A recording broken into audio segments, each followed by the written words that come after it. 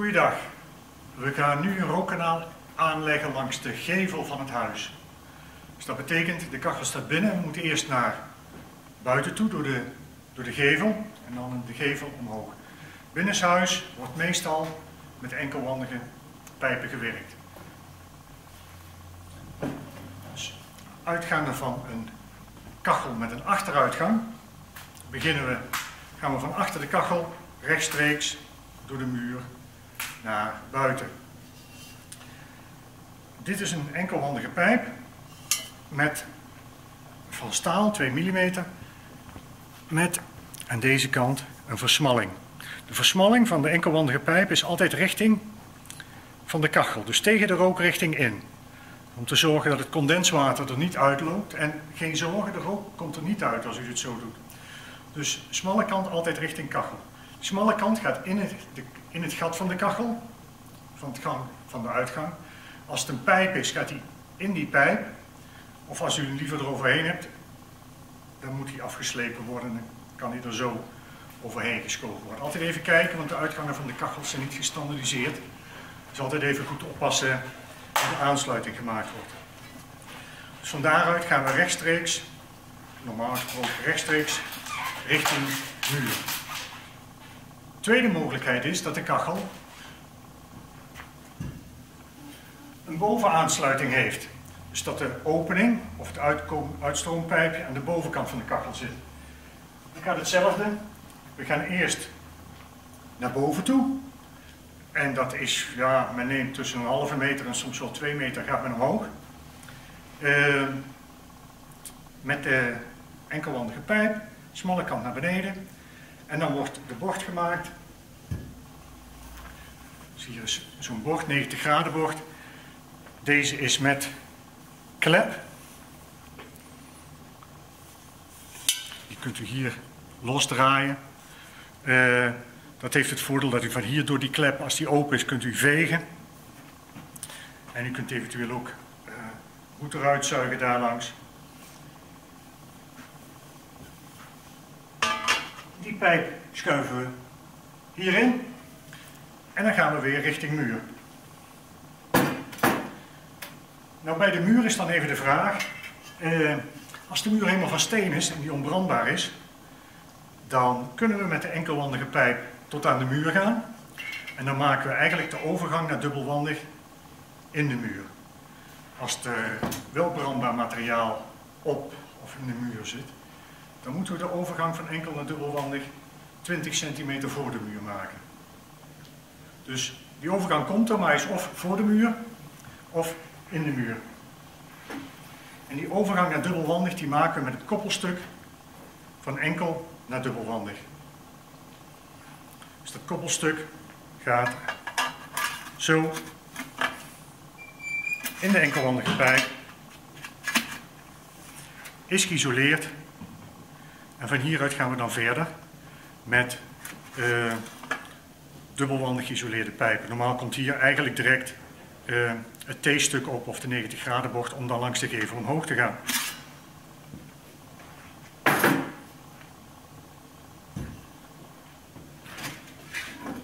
Dus hier laat ik het zien met het, T-stuk. Dit komt dus buiten op de gevel, gaat een stuk uh, de muur in en eventueel met een rechtstukje ertussen. Het hangt een beetje af van de dikte van de muur. In ieder geval op het T-stuk komt het koppelstuk.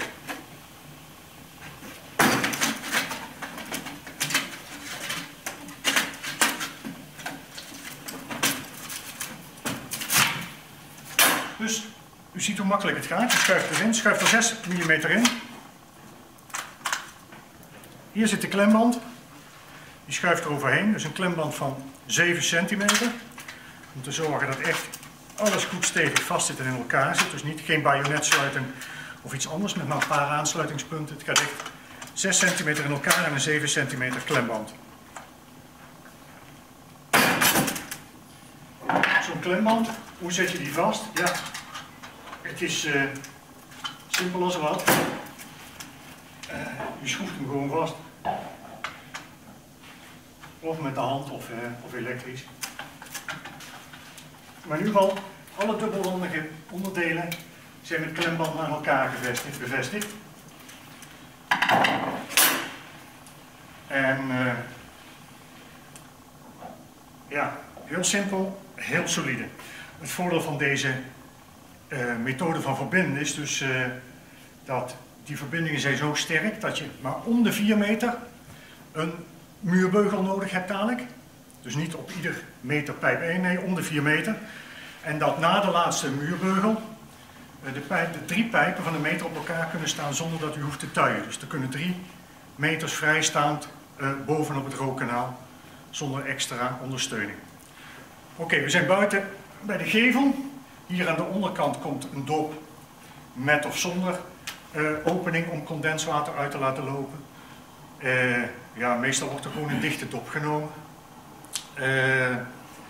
en van hieruit moeten we dus omhoog. Als het kanaal zal even voor de effect een pijp erop zetten. Hier komen de volgende pijpen op te staan.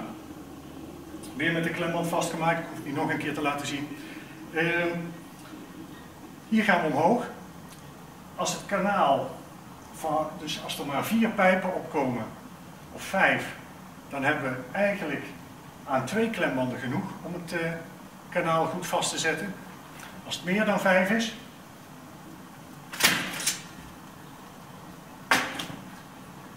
dan moet er een muursteun in het kanaal. Bekend als stoelconstructie. Dus deze komt hier dan op of onder, kan zo tegen de muur of zo gebruikt worden in het kanaal. Die draagt het gewicht als het kanaal meer dan 5 meter omhoog gaat.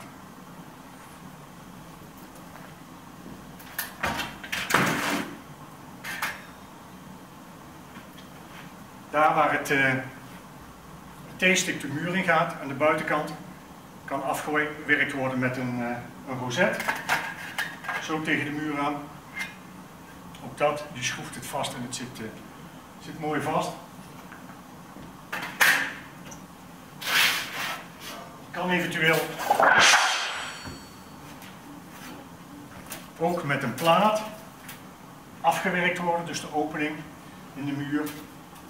Dit is uit twee delen, er bestaan ook platen uit één deel, wat u het mooiste vindt.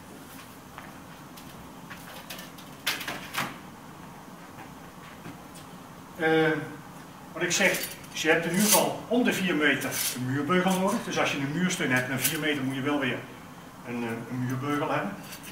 Dus die zijn er verschillende afmetingen, dus je kunt verschillende lengte afstanden tot de muur hebben, dus tussen de pijp en de muur. Als u uh, bijvoorbeeld een, een, een, stuk overhangend dak heeft, dan kunnen we wat verder van de muur afwerken. Dan kan ook de muursteun wat verder van het dak en kunt u toch nog recht omhoog. Anders moeten we omhoog en dan twee keer een 30 graden bocht of een 45 graden bocht om over, de, uh, over het overstekende dak uit te komen. Nou, die muurbeugels.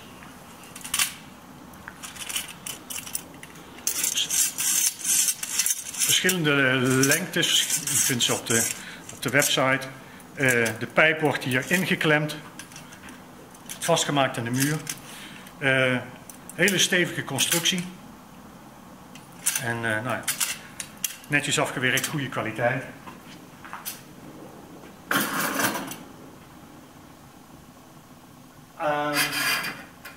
Dan komen we bovenaan.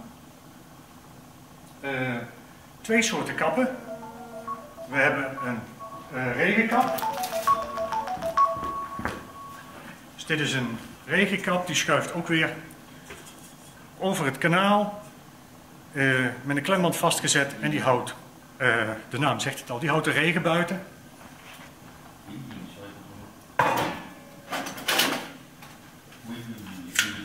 Of we hebben de uh, trekkap antivalwind. Ook, gaat ook weer op het kanaal. Uh, die heeft wat voordelen ten opzichte van de regenkap. Namelijk, de vogels kunnen er niet in. Valwinden, die kunnen niet in het rookkanaal slaan. Dus valwinden, neerwaartse winden, meestal het gevolg van hogere objecten in de buurt, dus bomen of uh, uh, gebouwen. Um, dus uh, verder aan de bovenkant kan dit kapje of deze, dit klepje opengezet worden, dus zonder dat er gedemonteerd hoeft te worden, kan er geveegd worden.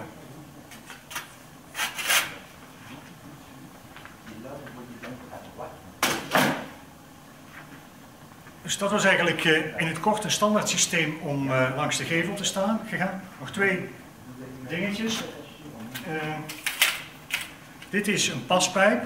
Dus dat is een buis die kun je zelf in en uit elkaar trekken op de juiste lengte. Dus stel dat je, vooral als je door de muur moet gaan, niet helemaal goed uitkomt, dan kun je er een paspijp tussen zetten. Eerder als dat je die dubbelwandig geïsoleerde buizen gaat zagen. Ehm, dus dat is een mogelijkheid.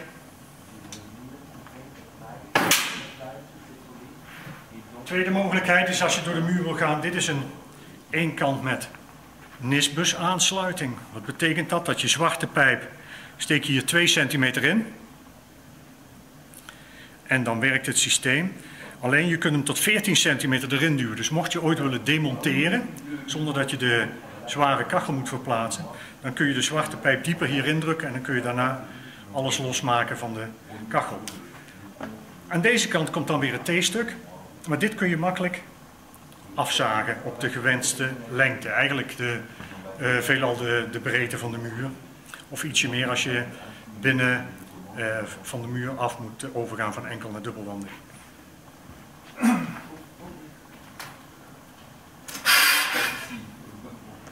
En dan het enige wat ik uh, nog moest melden, dus aan de binnenkant uh, heb je, voor de binnenkant heb je nog een rozet, dus als je met die zwarte pijp de muur in gaat, kun je die spleet afdekken met, met het rozet.